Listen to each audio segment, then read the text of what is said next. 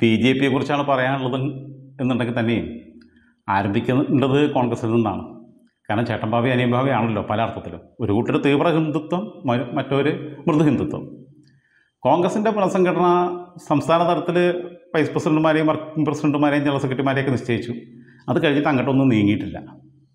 സെക്രട്ടറിമാരെ തന്നെ മര്യാദയ്ക്കാക്കാൻ എല്ലാവരും ഒന്നും പറ്റിയിട്ടില്ല. മാത്രമല്ല ഡി സി സി മണ്ഡലം ബ്ലോക്ക് പുനഃസംഘടനകൾ പാതി വഴിയിൽ നിൽക്കുകയാണ്. എവിടെ എത്തിയിട്ടില്ല. പുനഃസംഘടിപ്പിക്കണോ? സംഘടനാ തെരഞ്ഞെടുപ്പ് വരെ കാത്തിരിക്കണോ എന്നുള്ള കാര്യത്തിൽ ഗൗരവമായ ചർച്ച നടന്നുകൊണ്ടിരിക്കുകയാണ്. ചർച്ചിച്ച് ചർച്ചിച്ച് ഇവർ ഈ കോൺഗ്രസിനെ ഇല്ലാണ്ടേക്കും പറഞ്ഞിട്ടെന്താ കാര്യം? ഡി സി സി പുനഃസംഘടിപ്പിക്കുന്നതിന് മുമ്പ് എ ഐ സി സി പുനഃസംഘടന നടന്നിട്ട് കാലം കുറയായി. അവിടെ സംഘടനാ തെരഞ്ഞെടുപ്പ് എന്ന് പറയുന്ന സാധനമില്ല രണ്ടര വർഷം മുമ്പ് A I C C president സ്ഥാനത്തേക്ക് ഒരു താൽക്കാലിക ജീവനക്കാരിയെ നിയോഗിച്ചതാണ് ആ താൽക്കാലിക ജീവനക്കാരി മുമ്പ് A I C C president ആയിരുന്നു. പിന്നീട് മകനെ ആ സ്ഥാനം ഏൽപ്പിച്ചു. മകൻ രണ്ടായിരത്തി പത്തൊമ്പതിൽ ലോക്സഭാ തെരഞ്ഞെടുപ്പിൽ തോറ്റപ്പോൾ എനിക്കിനി പണി പറ്റില്ല എന്ന് പറഞ്ഞ് അമ്മയോട് പണങ്ങി രാജിവെച്ച് പോയി. മകനെ നീ തിരിച്ചു വരുമോ ഞങ്ങൾ വേദനയോടെ കാത്തിരിക്കുന്നു എന്നൊക്കെ പറഞ്ഞ് പത്രപരസ്യം കൊടുത്താലും മകൻ തിരിച്ചു വരാത്ത അവസ്ഥയാണ് അമ്മയാണെങ്കിൽ ആരോഗ്യപരമായ പ്രശ്നങ്ങളുണ്ടെങ്കിലും ഇത് വേറെ ആൾക്കൂട്ട് കൈവിട്ട് കൊടുക്കാനും വയ്യ. അതുകൊണ്ട് രണ്ടര വർഷമായിട്ട് താൽക്കാലിക ചുമതലയിൽ നിങ്ങൾ തുറന്നുകൊണ്ടിരിക്കുക. കോൺഗ്രസിനെ വിടാം. ബി ജെ പിയിലേക്ക് വരാം. ബി ജെ പി സംഭവം കേരളത്തിൽ ആകെ തകർന്നടിഞ്ഞ് നിൽക്കുകയാണ്. രണ്ടായിരത്തി പതിനാറിൽ അക്കൗണ്ട് തുറന്ന കേരളത്തിൽ ആകെ ഉണ്ടായിരുന്ന സീറ്റ് രണ്ടായിരത്തി ഇരുപത്തൊന്നിൽ നഷ്ടപ്പെട്ടു. വലിയ പ്രതീക്ഷ വെച്ച് കള്ളപ്പണമൊക്കെ ഒഴുക്കിയിട്ടും കള്ളപ്പണത്തിൽ കുറേ അവരെ ആൾക്കാർ തന്നെ തട്ടിക്കൊണ്ടുപോയി. അത് വേറെ കാര്യം. ബാക്കിയുള്ള കള്ളപ്പണം ഒഴുക്കിയത് വെറുതെ ആവുകയും ചെയ്തു. അതും ആരെങ്കിലും തട്ടിക്കൊണ്ടായാൽ അവർക്ക് അവരെങ്കിലും രക്ഷപ്പെടുമായിരുന്നു. കുറച്ച് ഇ ഡി ചോദ്യം ചെയ്താൽ ഇ ഡി ഒരു ചുക്കും ചെയ്യില്ല എന്നുള്ളത് നമുക്ക് മനസ്സിലായല്ലോ. ഇ ഡി എന്ന് പറയുന്നത് വെറുതെ ഒരു പുകമറ മാത്രമാണ്. അല്ലാതെ അവരെ കൊണ്ട് ഒന്നിനും കൊള്ളില്ല ഒന്നിനും കൊള്ളാത്ത പുഴന്മാരെയാണ് ഇ ഡി ആക്കിയിട്ടുള്ളത്. അവരെ പറഞ്ഞയക്കുന്ന കേന്ദ്ര മന്ത്രിസഭയ്ക്കകത്തുള്ള ആഭ്യന്തര വകുപ്പ് ഉൾപ്പെടെയുള്ള വകുപ്പുകൾ കൈകാര്യം ചെയ്യുന്ന ആളുകൾക്കും കസ്റ്റംസ് ഡിപ്പാർട്ട്മെന്റിന്റെയൊക്കെ നേതൃത്വത്തിലിരിക്കുന്ന ആളുകൾക്കുമൊക്കെ അത്ര പോലും കാര്യപ്രാപ്തി ഇല്ലാത്തവരാണ് എന്നുള്ളത് സമീപകാല സംഭവ വികാസങ്ങളെല്ലാം നമ്മെ അടിവരയിട്ട് ഓർമ്മപ്പെടുത്തിയതാണ്. എ ക്ലാസ് മണ്ഡലങ്ങളിലൊക്കെ ഉള്ളത് ഇവരിങ്ങനെ ഇപ്പം ജയിക്കും ഇപ്പം ജയിക്കും എന്ന് പറഞ്ഞ സീറ്റൊക്കെ ആരൊക്കെയോ കൊത്തിക്കൊണ്ടു പോകുന്നത് നിസ്സഹായത്തോടെ നോക്കി നിൽക്കേണ്ടി വന്ന ഞെട്ടലിൽ നിന്ന് ഇപ്പോഴും ബി ജെ പി വിമുക്തമായിട്ടില്ല. പക്ഷേ പുനഃസംഘടനയ്ക്കൊന്നും മോശമല്ല. രാജ്യം ഭരിക്കുന്ന പാർട്ടിയാണ്. ഇവിടെ ആളില്ല എന്ന് പറഞ്ഞാൽ തറവാട്ടിൽ അവിടെ ആളുണ്ട്. അപ്പോൾ കേരളത്തിൽ പുനഃസംഘടന നടത്തുകയല്ലേ? പുനഃസംഘടന നടത്തിയപ്പോൾ ആദ്യം ബി ജെ പിക്കകത്ത പുനഃസംഘടന നടത്തിയത്. പുനഃസംഘടന നടത്തിയപ്പോൾ നമ്മളെ ശോഭയച്ചി ക്ലീൻ ബൗൾഡ്. പടി അടച്ച് പിണ്ടം വെച്ചു എന്ന് സാരം. ഇനി തിരിച്ചു വന്നാൽ എന്താണ് സ്ഥിതി എന്ന് തന്നെ കണ്ടറിയണം. അവരകത്താണോ പുറത്താണോ എന്ന് അവർക്കും അറിയില്ല നാട്ടുകാർക്കും അറിയില്ല ബി ജെ പിയുടെ സംസ്ഥാന പ്രസിഡന്റിനും അറിയില്ല. മേലെന്ന് വി മുരളീധർ ജി ലിസ്റ്റ് കൊടുത്തേക്കും. ആ ലിസ്റ്റ് നോക്കിയിട്ട് അതിൽ അവരെ സംസ്ഥാന ഭാരവാഹികളാക്കിയിട്ട് ഉള്ളി സുരജി പ്രഖ്യാപിക്കും.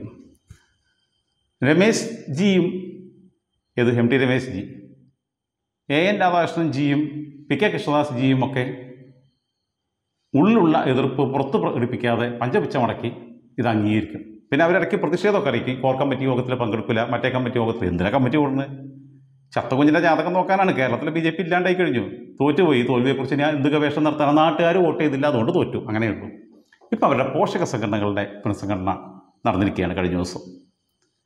ആ പോഷക സംഘടനകൾ എന്ന് പറഞ്ഞാൽ ഒരുപാടുണ്ട് കേട്ടോ. കേരളത്തിൽ ദളിത് മോർച്ച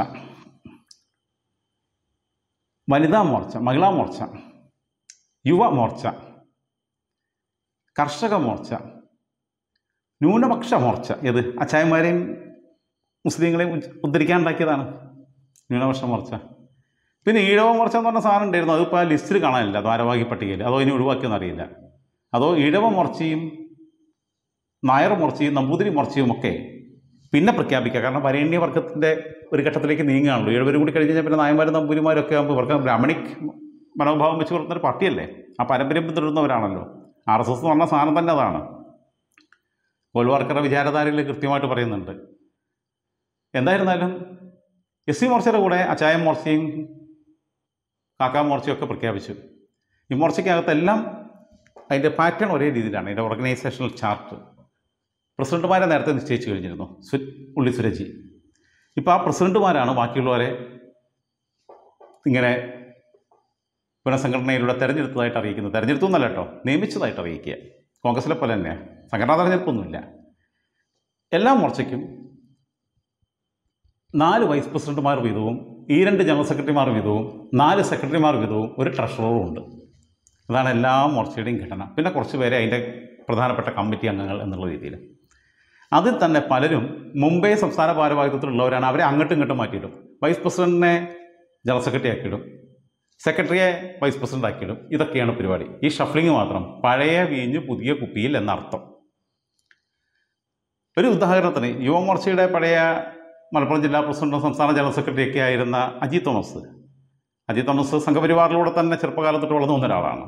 അജി തോമസ് കഴിഞ്ഞ ടൈമിൽ ന്യൂനപക്ഷ മോർച്ചയുടെ കാരണം അജി തോമസ് ആണല്ലോ അച്ചായനാണ് അപ്പം ന്യൂനപക്ഷ മോർച്ചയുടെ സംസ്ഥാന ജനറൽ സെക്രട്ടറി ആക്കിയിരുന്നു.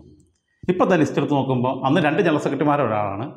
അദ്ദേഹത്തെ ഡീപ്രൊമോട്ട് ചെയ്തിട്ട് നാല് വൈസ് പ്രസിഡന്റുമാരിൽ ഒരാളായിട്ട് നിയമിച്ചിരിക്കുകയാണ് ഇപ്പോൾ എന്താ സംഭവം എന്ന് ആർക്കും മനസ്സിലാവണില്ല.